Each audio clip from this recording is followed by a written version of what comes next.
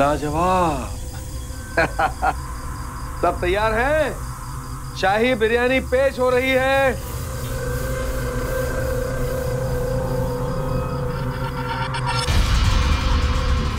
चलो चलो चलो चलो, बिरयानी आ गई। ये।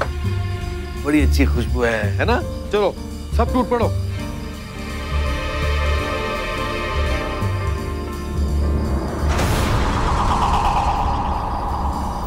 तुम्हारी बारी लो, खाओ।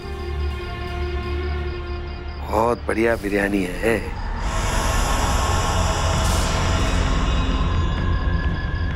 अरे, ये आनंद कहाँ चला गया? आनंद बेटा आनंद। बेटा, कहाँ हो?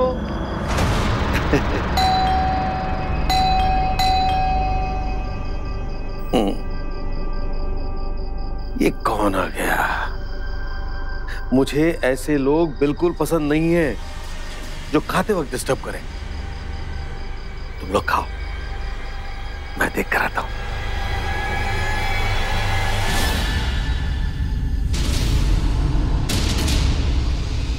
एक पिता अगर अपने परिवार के सदस्यों के लिए खाना बनाकर उसे परोसे तो उसमें कोई बड़ी बात नहीं। लेकिन ये बात तब चौंका देती है जब वो सारे सदस्य मर चुके हों। आखिर हुआ क्या था? कैसे हुई उन सब की मौत? और मरे हुए लोगों को खाना परोसने का प्रयास क्यों कर रहा था उनका पिता? जानने के लिए हमें जाना होगा चंडीगढ़, जहाँ ये हादसा हुआ था।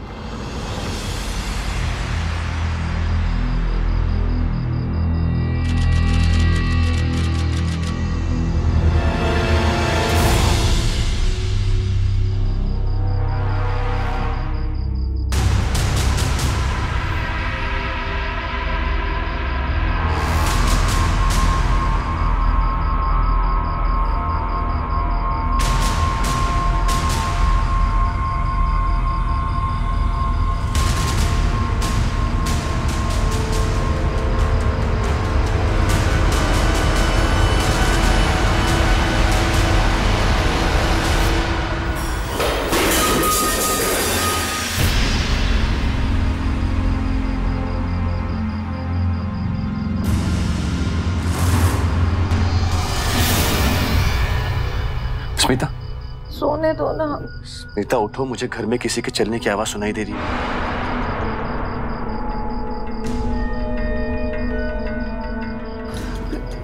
कहीं घर में चोर तो नहीं घुसा है। मुझे भी ऐसे लगता है।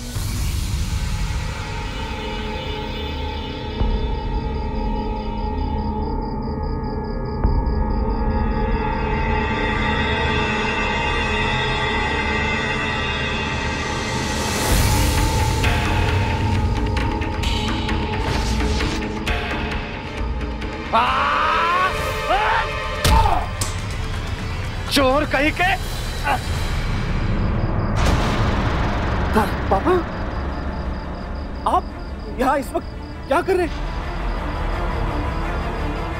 और ये बैग कहाँ जा रहे हैं पापा? उठिए। उठिए पापा उठिए। उठिए। पानी लाओ जल्दी। माँ जी माँ जी उठिए। माँ जी क्या हुआ? वो पापा। क्या हुआ पापा को? आप चलिए तो मेरे साथ। अरे पर ये क्या है?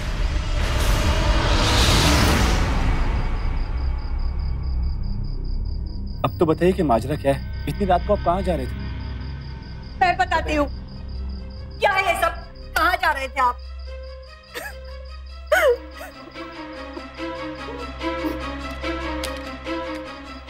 मैंने अपनी सारी ज़िंदगी अपने परिवार को दे दी है। सारे फ़र्ज़ पूरे कर चुका हूँ। मगर अब मैं अपनी नई ज़िंदगी जीना चाहता हूँ। अकेले इसलिए घर से जा रहा हूँ। मुझे ढूँढने की कोशिश मत करना बताइए कहाँ जा रहे थे आप? और ऐसी कौन सी घुटन महसूस हो रही है इस परिवार में आपको? बताइए। पापा रात के साढ़े तीन बजे आपको कौन मैसेज कर रहा है?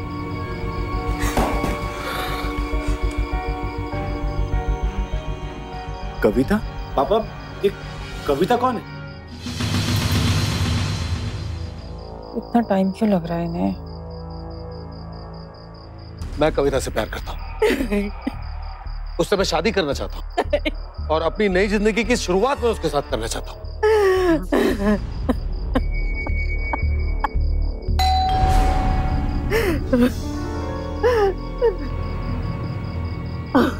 नहीं माँ। जी कहिए। सुरिंदर जी हैं? आइए।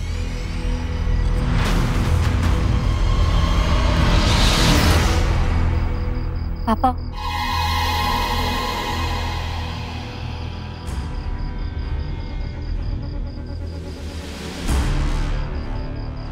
कविता। तू ही है ना वो डायन? हाँ? माँ माँ संभालो। क्या जादू किया है मेरे पति पर? क्या पट्टी पढ़ाई इन्हें? बोल। संभालो अपने आप को पापा ये सब क्या है? पति पापा।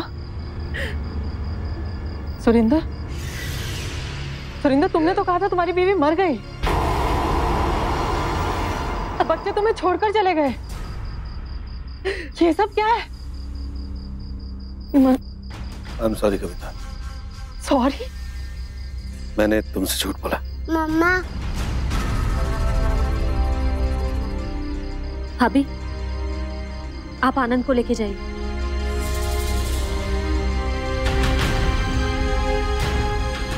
भैया इतना बड़ा झूठ। मतलब तुमने मुझे बेवकूफ़ बनाया। पूरा परिवार है तुम्हारा और तुमने बोला कि तुम्हारा कोई भी नहीं है। इन्हें छोड़ के मेरे साथ भागने वाले थे तुम।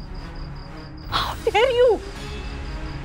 कैसे आ गई मैं तुम्हारी बातों में छी इस उम्र में क्या कर दिया आपने ये? जीते जी मार डाला। संभालो अपने आप को प्लीज़ दिमाग खराब हो गया इनका। पागल हो गए हैं। सट क्या गए हैं। जवानी में लोग भागते हैं, जवानी में। और आप बुढ़ापे में? और वो भी अपनी बेटी की उम्र की लड़की के साथ। शर्म नहीं आती आपको? अरे आपने सोचा है कि समाज में लोग हमें क्या कहेंगे? कितनी गालियाँ देंगे हमारी इज़्ज़त क्या रहेगी? नहीं ना। में तो आता है कि आप भैया।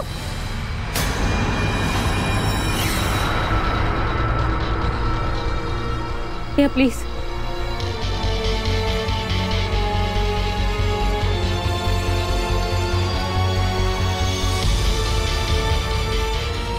पचास साल की उम्र का आदमी। जिसका परिवार हो पत्नी हो बच्चे पोते पोती हो, उसका ऐसा शर्मनाक कदम उठाना बेहद आश्चर्यजनक है। सुरेंद्र का पूरा परिवार उससे बेहद प्यार करता था। फिर ऐसा क्या हुआ कि अपने से आधी उम्र की लड़की कविता के प्यार में दीवाना होकर उसने घर छोड़कर भागने की सोची? उसने ना केवल अपने परिवार को धोखा दिया, बल्कि कविता को भी धोखे में रखा, ये कहकर कि उसका कोई परिवार नहीं। आधी रात को सामने आए इस सच ने सुरेंद्र के परिवार की रातों की नींद और दिन का चैन छीन लिया था।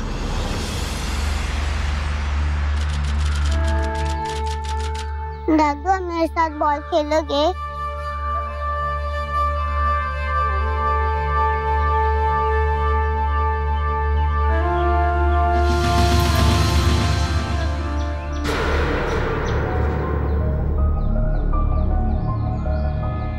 आनंद बेटा चलो ऊपर।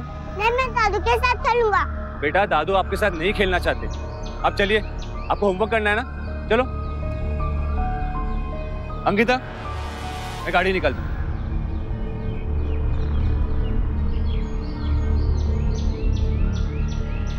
चलो बेटा चलो जल्दी। मुझे दादू के साथ खेलना है। चुप कर।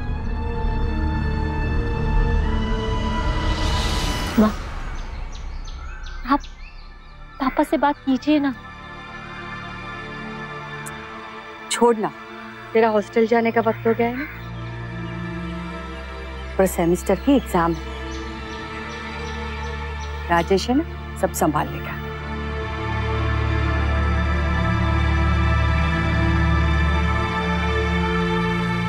ध्यान रखना हाँ? अपना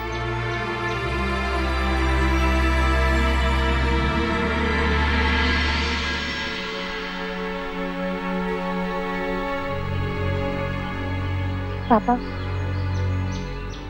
मैं जा रही हूँ। मेरे सेमेस्टर एग्ज़ाम शुरू होने वाले हैं। अरे बेटा तो मैं तुझे एयरपोर्ट छोड़ देता हूँ। नहीं पापा राजेश भैया गाड़ी निकाल रहे हैं। राजेश को ऑफ़िस जाने में देर हो जाएगी बेटा। मैं तुझे छोड़ने आता हूँ।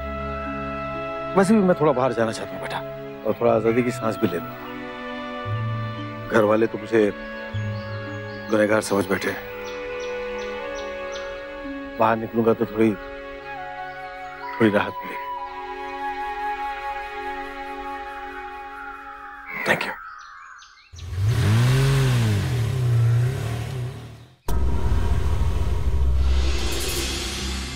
कहाँ लौटे है बेटा?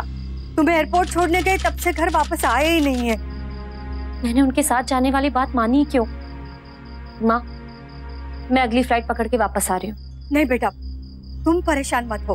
बस अपना एग्ज़ाम ढंग से देना। ठीक है बेटा? रखती हूँ। ओके आई एम श्योर कि वो उस कविता के घर पर ही गया हूँ। नहीं छोड़ूँगा मैं उन्हें देख। नहीं छोड़ूँगा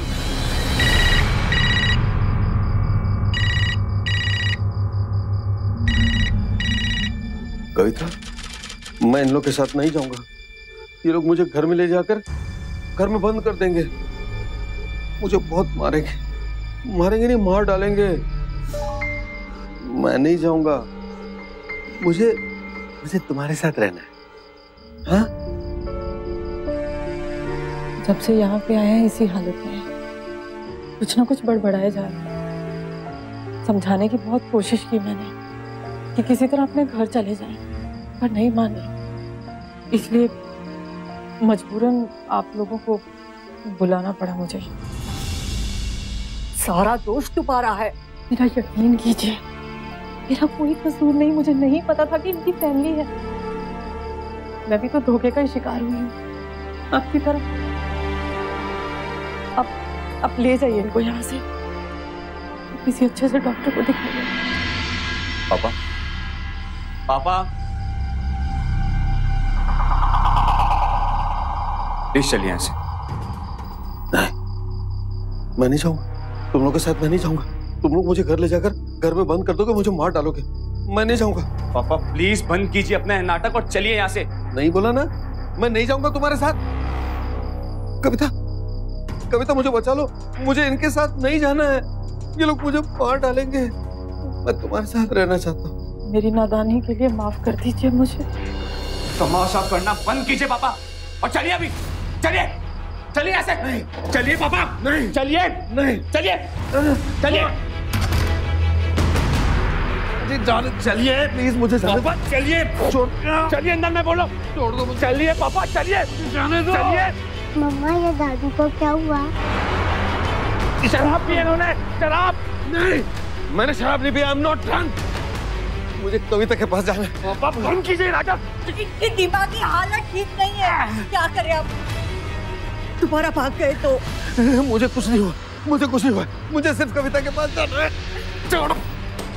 दरवाज़ा खोलो। मैं कहता हूँ दरवाज़ा खोलो। मुझे कविता के पास जाने दो। दरवाज़ा खोलो। और कोई रास्ता भी नहीं था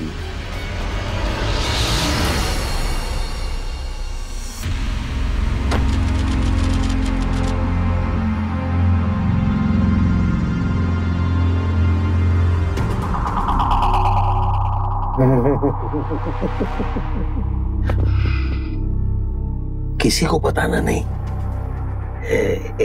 आनंद कहाँ हो बेटा? दूध पीना है।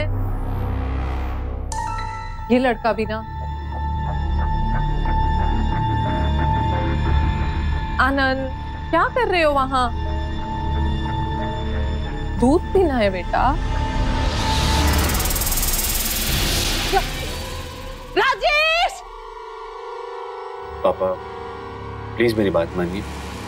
प्लीज़ समझने की कोशिश कीजिए पापा। पापा प्लीज़ बचपना छोड़िए ना। बाहर आ जाइए प्लीज़ तब तक कविता को नहीं लाओगे? मैं बाहर नहीं आऊँगा। एक बात मेरी कान खोलकर सुन लो पापा। वो औरत इस घर में कदम भी नहीं रखेगी समझा? आइए बात आइए। पापा मैं कह रहा हूँ बाहर आइए। मैं नहीं आऊँगा। बाहर आइए। नहीं। बाहर आइए। नहीं। आइए बाहर। नहीं। दरवाज़ा खोलिए। खाना खाना है आपको। कविता ये खाना तो खा लीजिए। दो दिन से भूखे हैं। भूखे मरना है क्या?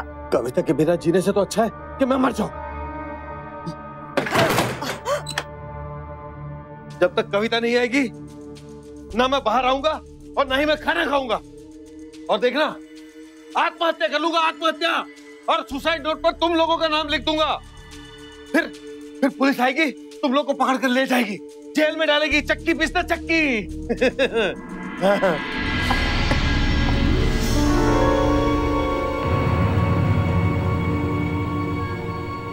पापा पापा, दरवाज़ा खोलिए। पापा, आपकी कविता आई है। कहा है मेरी कविता? कविता?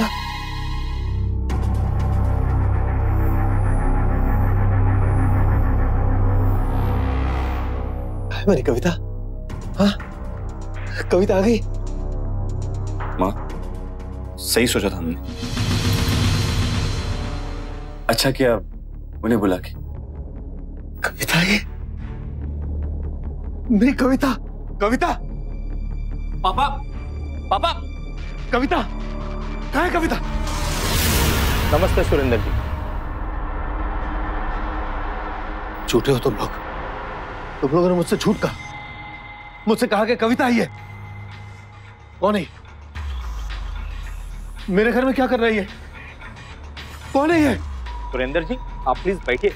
हम कविता जी के बारे में ही बात करेंगे। अरे कविता मेरी है। मैं उसके बारे में तुमसे क्यों बात करूँ? तुम लोग मुझे कविता से नहीं मिलने दोगे ना? अब देखो मैं क्या करता हूँ। हट जाओ हट जाओ पापा हट जाओ। पापा नहीं। तुम लोग मुझे खुश नहीं नहीं, नहीं, पापा नहीं। तुम लोग मुझे मारने चाहते हो। मैं मैं कविता के पास जाऊँगा। पापा छोड़ो मुझे। पापा। छोड़ो मुझे। छोड़ दो मुझे। डॉक्टर साहब नहीं जल्दी डॉक्टर साहब प्लीज़ प्लीज़ जल्दी डॉक्टर साहब छोड़ दो मुझे। डॉक्टर छोड़ो मुझे। छोड़ दो मुझे। कविता के पास बाबा। छोड़ दो कविता के पास जाने दो मुझे। मुझे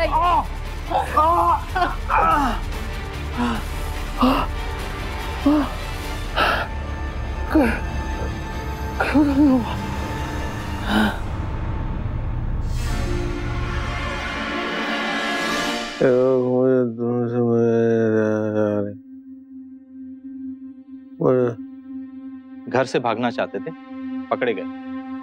इस वजह से he is under huge psychological backlash he is suffering from साइकोसिस symptoms include paranoia फ़िलहाल शांत करने के लिए इन्हें इंजेक्शन दिया है।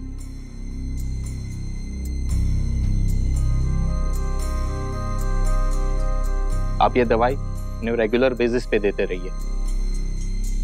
छह छह घंटे में एक गोली। I am sure you will be all right लेकिन दवाइयाँ मिस नहीं होनी चाहिए। मैं चलता हूँ। थैंक यू डॉक्टर सुरिंदर के परिवार वाले जान चुके थे कि उसकी दिमागी हालत ठीक नहीं और ऐसे में उसे सबके साथ और दवा की ज़रूरत है। पूरा परिवार यही कोशिश कर रहा था कि सुरिंदर जल्द से जल्द ठीक हो जाए। लेकिन ऐसे में उसका दवा ना लेना एक बहुत बड़ा खतरा बनता जा रहा था जिसके बारे में उसके परिवार को नहीं पता था। सुरिंदर को लगने लगा कि उसके परिवार वाले ज़बरदस्ती उसे दिमागी दिवालिया घोषित करने में लगे हैं। जब किसी में ये सोच पैदा हो जाए तो उसका परिणाम अक्सर भयानक ही होता है। अब देखना ये था कि यहाँ आगे क्या होने वाला था।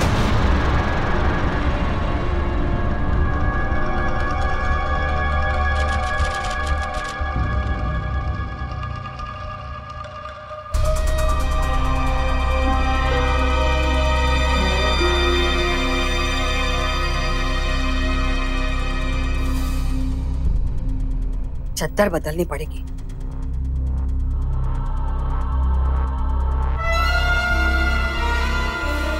गोली?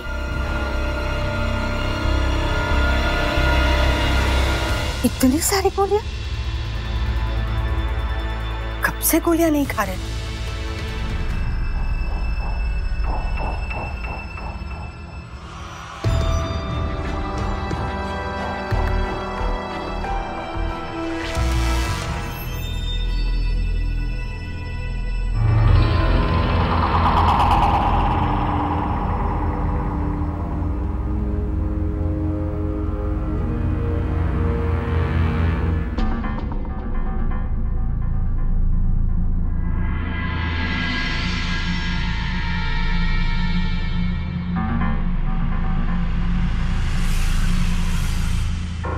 आप यहाँ? मेरा घर है। मैं कहीं भी रहूँ। आज मैं यहीं खाऊँगा।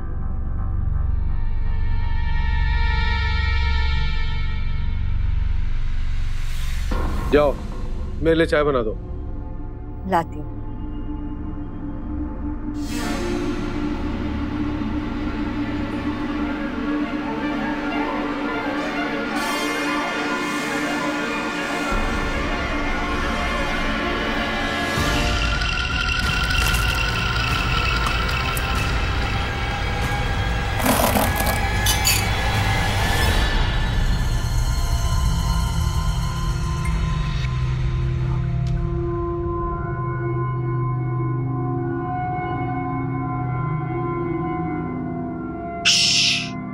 मुझे भी दूध पसंद नहीं मैं ऐसे फेंक देता।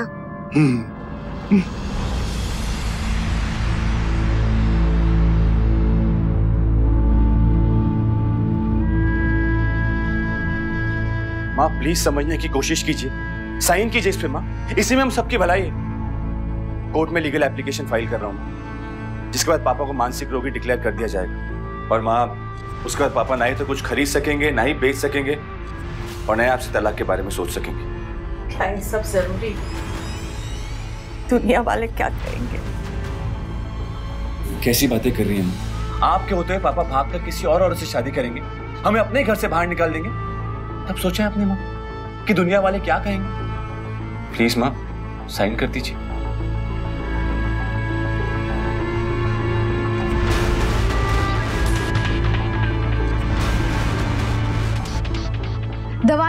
लेकर और सबको धोखे में रखकर क्या सुरेंद्र खुद के लिए मुश्किलें पैदा कर रहा था? या फिर उसके जहन में कोई और ही बात चल रही थी? उसे बिल्कुल अच्छा नहीं लगा कि उसे उसका परिवार कोर्ट में मानसिक रोगी साबित करे और उससे उसकी सारी शक्तियाँ छीन ले। इसीलिए वो कुछ ऐसा कर बैठा जो भयानक से भी भयानक था। बेटा, ये लोग मुझे पागल साबित कर देना चाहते हैं। मुझे बीमार कर देने के लिए गलत गलत दवाइयाँ दे रहे हैं। वो तो मैं उन इसलिए अब ठीक हो रहा हूँ। प्लीज़ बेटा प्लीज़ मेरी मदद करना। प्लीज़ आपको दवा लेना ज़रूरी है। यू डोंट साउंड ओके तुझे नहीं पता है बेटा। ये दवाई नहीं जहर है जहर। मुझे मारकर ये लोग मेरी प्रॉपर्टी हत्या हत्याना चाहते। हैं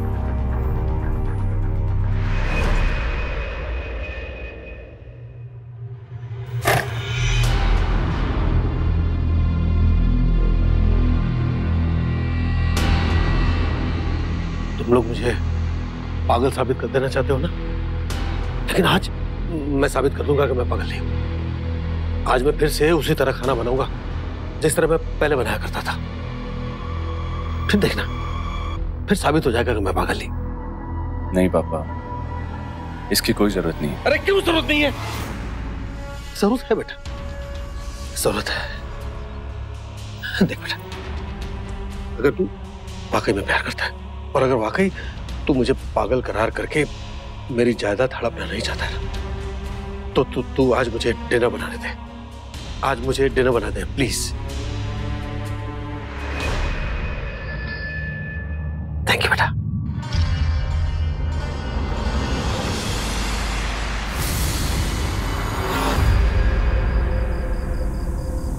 हम्म लाजवाब। सब तैयार हैं? शाही बिरयानी पेश हो रही है।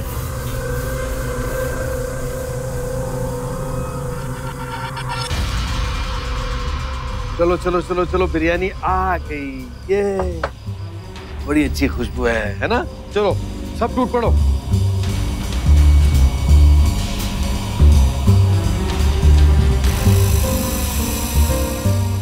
अब तुम्हारी बात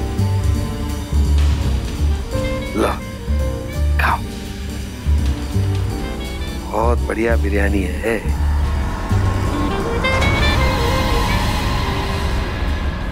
अरे, ये आनंद कहाँ चला गया? आनंद बेटा आनंद, बेटा कहाँ हो?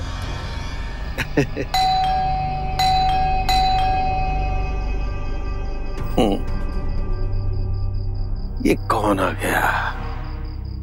मुझे ऐसे लोग बिल्कुल पसंद नहीं है। जो खाते वक्त डिस्टर्ब करे। तुम लोग खाओ। मैं देख कर आता हूँ।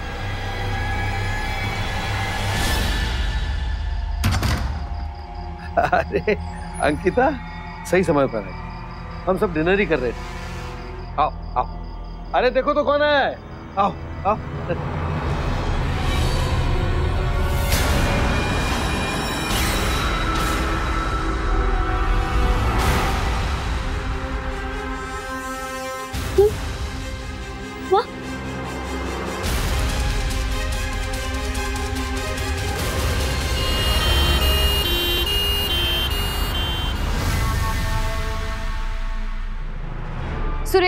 परिवार वाले उसे अपनी ज़िंदगी में वापस लाना चाहते थे, लेकिन उसने उन्हीं की जान ले। ली कविता के लिए उसके जुनून ने उसके दिल से हर रिश्ते की डोर काट दी थी। वो आज़ाद होना चाहता था और इसीलिए उसने अपने ही बेटे, बहू और पत्नी की बेरहमी से हत्या कर दी। इस पूरे हत्याकांड में सिर्फ़ आनंद बचा था, लेकिन उसकी हालत और भी दयनीय थी। सदमे से उसकी आवाज़ जा चुकी थी। डॉक्टर के बयान और रिपोर्ट के आधार पर कोर्ट ने सुरेंदर को मानसिक रोगी घोषित किया और उसे इलाज के लिए मनोचिकित्सा केंद्र भेजा गया। छह महीने बाद, जब वो अपने होश में वापस लौटा, तब उसे एहसास हुआ कि उसने कितना बड़ा अपराध किया है। खैर, अब बेटी अंकिता पर सुरिंदर और आनंद दोनों की ज़िम्मेदारी थी, जिसे वो निभाने की पूरी कोशिश कर रही थी।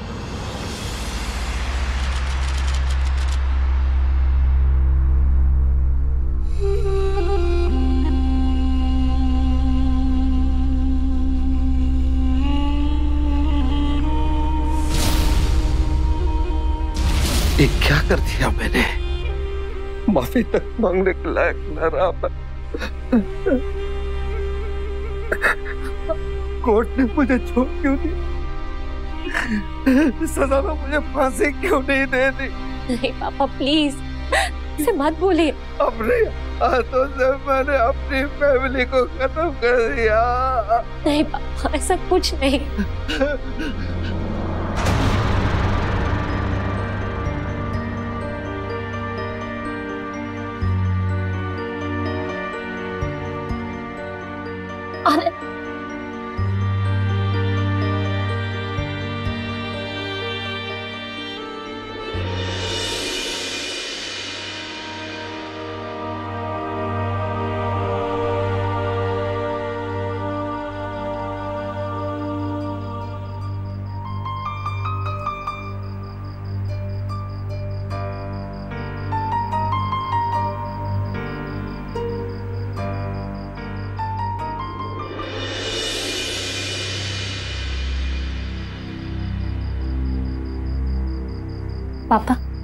लीजिए। दवा लीजिए अपनी।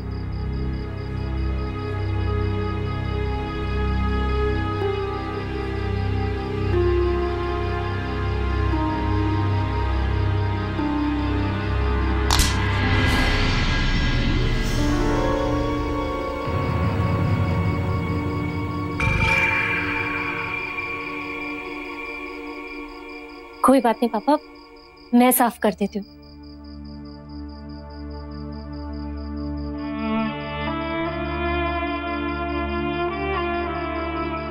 तो क्या क्या साफ़ करेगी बेटा? मेरे हाथों में लगे अपने परिवार के खून के दाग तो साफ़ नहीं होंगे ना बेटा। तू ना मुझे असलम भेज दे एक काम कर मुझे ना तू तू तू जेल में भिजवा दे। सब कुछ खो दिया है। मैंने कविता के लिए मैंने सब कुछ खो दिया। ना कविता मिली, ना ना परिवार मिला। तू तू अपनी ज़िंदगी खराब मत कर। तू तू जा। जाकर ना आनंद को संभाल। मेरी वजह से उसे सदमा पहुँचा है, उसकी उसकी आवाज़ बंद हो गई है। पापा। मेरी बात सुनिए। देखिए, जिसने भी ये सब किया, वो आप नहीं थे। कोई और इंसान था। आपकी तबीयत ठीक नहीं थी उस वक्त। प्लीज़, अपने आप को कोसना बंद कीजिए।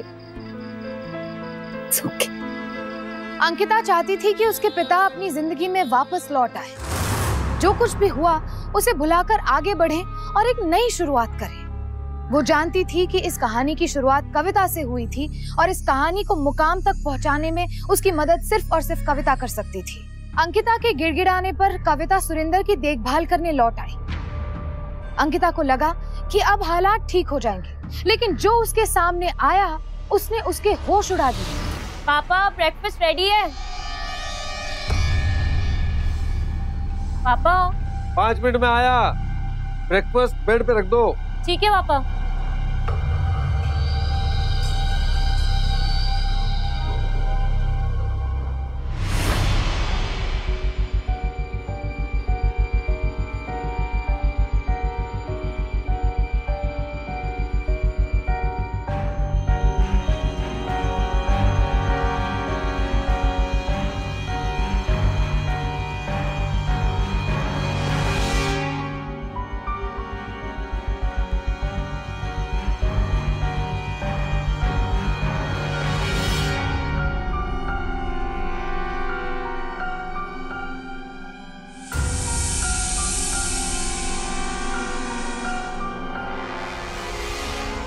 अंकिता तुम कुछ काम था?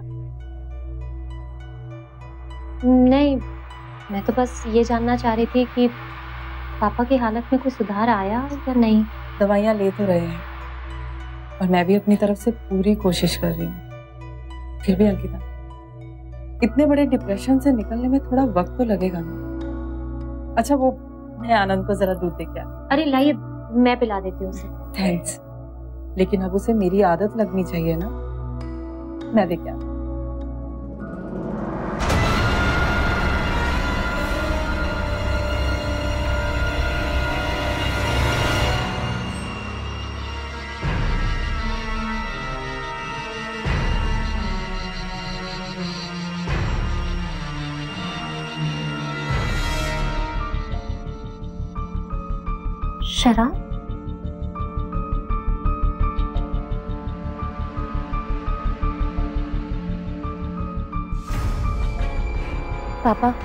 की दवाई की शीशी।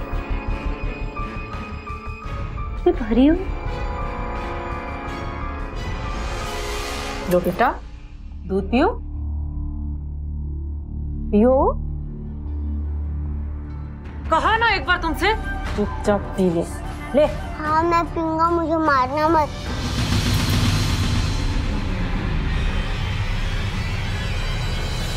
आनंद? आनंद बेटा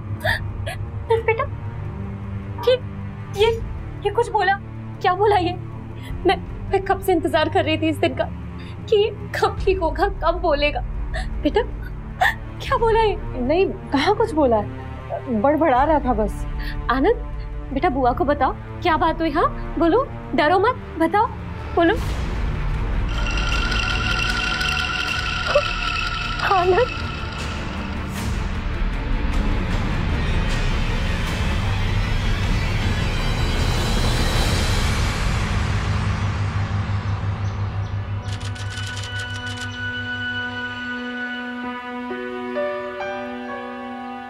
कविता जी मैं सोच रही हूँ मैं ये घर बेच दूँगी। क्या? पापा की तबीयत अब ठीक हो रही है। एंड आई थिंक आनंद भी इस घर में कंफर्टेबल नहीं है। यहाँ पर ही रहेंगे तो बार बार उनको वही सब याद आता रहेगा। आई एम थिंकिंग कि मैं दिल्ली शिफ्ट हो जाऊँ। वहीं पर ही कोई जॉब कर लूँगी और आनंद का भी इलाज ठीक से हो पाएगा। पापा भी यहाँ से दूर रहेंगे तो जल्दी ठीक हो पाएँगे। Kavita ji thank you so much for your support आप अपना सामान रेडी कर लीजिएगा। मैं कल ही आपको आपके घर छोड़ आऊँगी।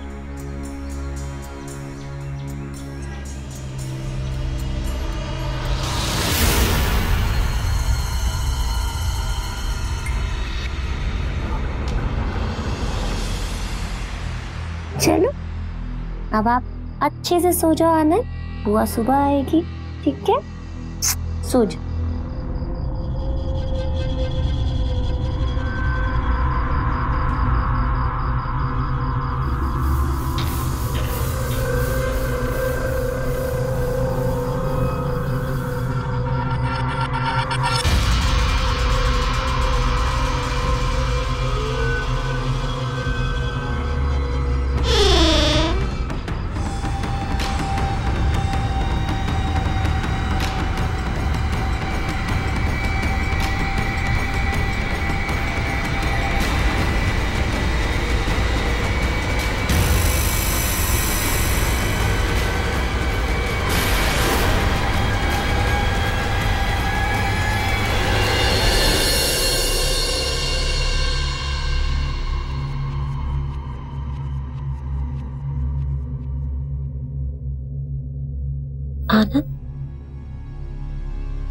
आनंद मेरे कमरे में आके क्यों सोया?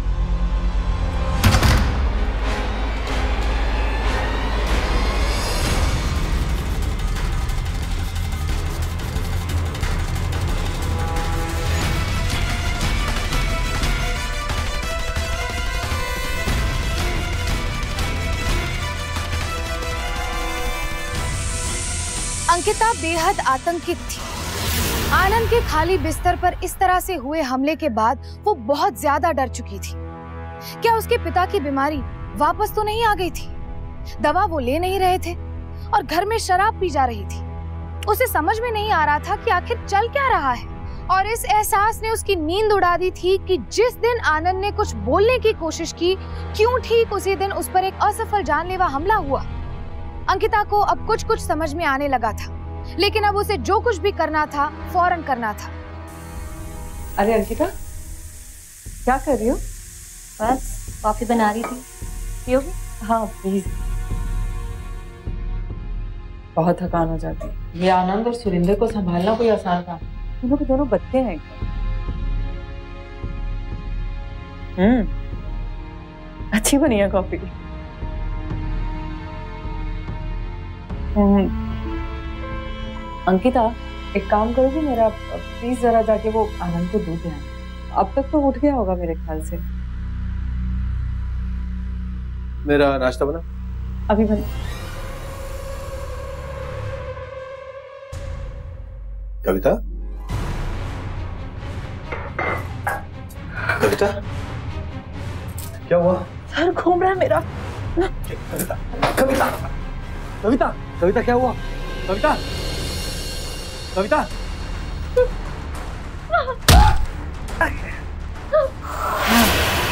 कविता रोको। छोड़ो मुझे पापा जानती हूँ मैं। आप पागल वागल कुछ नहीं है। पागल होने का बस नाटक कर रहे थे ना? जिससे इसे इसे घर में ला सके। पूरे घर को मार। तू सब जान गई है। तुझसे पहले आनंद सब जानता था। आनंद को तो कविता ने खत्म कर दिया। तुझे मैं खत्म करूँगा। उसके बाद देखता हूँ कि कौन मेरी प्रॉपर्टी बेचता है और कौन कविता को मुझसे अलग करता है।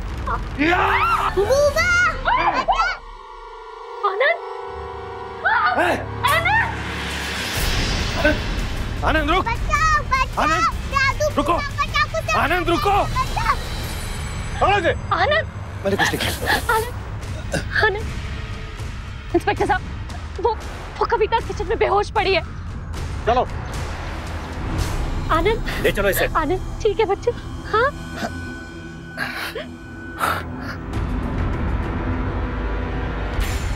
ले चलो इसे आओ मुझे यही लगा था कि पापा को मदद की ज़रूरत है। इसलिए मैं कविता को भी यहाँ लाई। वो भी कुछ दिन पापा की मदद करके लौट जाना चाहती थी। पर उस दिन उस दिन मैंने पापा के पिलों पर कविता की लिपस्टिक के दाग देखे, उसके बाल भी, मैं मैं चकरा गई। मुझे समझ नहीं आ रहा था कि आखिर ये चल क्या रहा है। इसके बाद किचन में मुझे शराब की खाली बोतल दिखी और पापा की दवा भी, लेकिन भरी हुई शीशी। तब मैं समझ गई कि पापा दवा ले ही नहीं रहे थे। तो फिर वो ठीक कैसे हो रहे थे? इसका मतलब वो नाटक कर रहे थे। उन्हें साइकोसिस हुआ ही नहीं था, ना ही कोई और बीमारी। उन्होंने सोच समझ कर सबको मारा। समझ आ गया मुझे। उस दिन मैंने आनंद को कविता से कहते हुए सुना। कि मुझे मत मारो, मैं शॉक हो गई थी। कविता ने साफ़ साफ़ झूठ बोल दिया कि आनंद ने कुछ नहीं कहा। मैं सोचकर परेशान थी कि आखिर आखिर आनंद कविता से क्यों कह रहा है? उस रात मैंने फैसला किया कि मैं घर बेचकर आनंद और पापा को दिल्ली ले जाऊँगी। मैंने कविता से भी ये बात कही। और उस रात उस रात किसी ने आनंद पे आनंद पे हमला किया। उसे मारने की कोशिश की। वो तो अच्छा है। आनंद रात को ही डर के मेरे कमरे में मेरे पास आके सो गया। सुबह सुबह मैंने उसका पिलो चाकू से फटा हुआ देखा।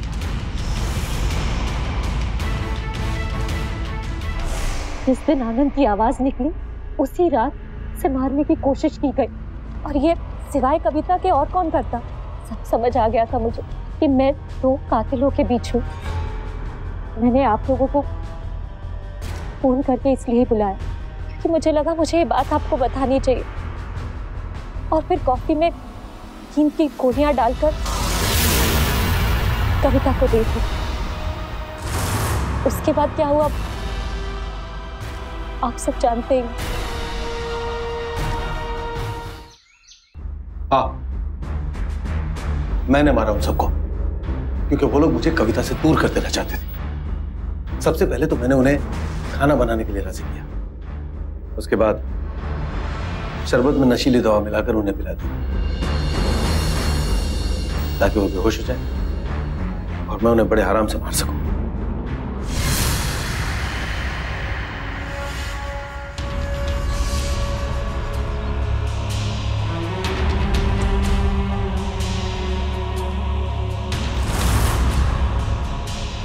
सबने शरबत पिया, लेकिन आनंद नहीं पिया। तोड़ दिया उसने। तब तक मैं कविता को फ़ोन करके बुला चुका था। कविता ने उसे पीने के लिए जिद किया, लेकिन नहीं माना।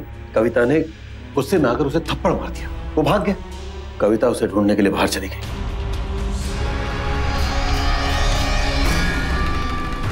उसके बाद मैंने सबको चाकू, खूब खूब कर मारा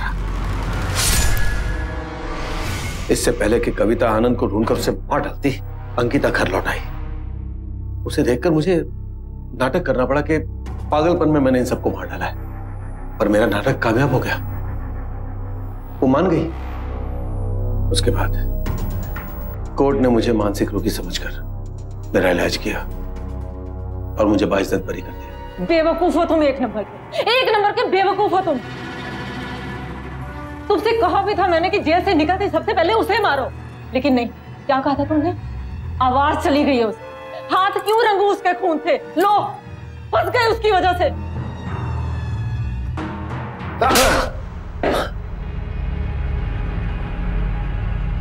इंसान की हवस उसे क्या से क्या बना देती है, इसका जीता जाता उदाहरण था सुरिंदर। इस बेरहम हत्यारे ने एक खतरनाक योजना बनाई और कविता के साथ मिलकर उसे बखूबी अंजाम भी दिया। लेकिन सबसे पहली हत्या जो उसने की, वो थी अपने अंदर मौजूद पिता की। एक इंसान अगर अपनी जिम्मेदारियों, अपने एहसास को मार डाले तो वो वैसा ही राक्षस बन जाता है जैसा सुरिंदर बना। अंकिता के साहस और समझदारी से न केवल उसकी और आनंद की जान बची, बल्कि इस हत्याकांड का असल रूप भी सामने आया। सोच समझकर आपराधिक षड्यंत्र और हत्या के जुर्म में सुरिंदर और कविता को आईपीसी के सेक्शन 302 के तहत उम्र कैद की सजा सुनाई गई। तो सावधान रहिए, अपने अंदर छुपे शैतान से और अपनी जिम्मेदारियों के एहसास से उस पर अंकुश लगाए। आज के लिए बस इतना ही। फिर होगी आपसे मुलाकात एक और ऐसी सत्य घटना के साथ। तब तक सावधान रहें, सतर्क रहें, सुरक्षित रहें। सावधान India India fights back. solve the